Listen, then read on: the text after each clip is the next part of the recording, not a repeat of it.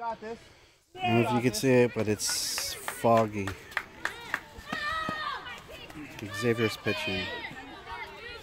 Let's go X. Shut it down, son.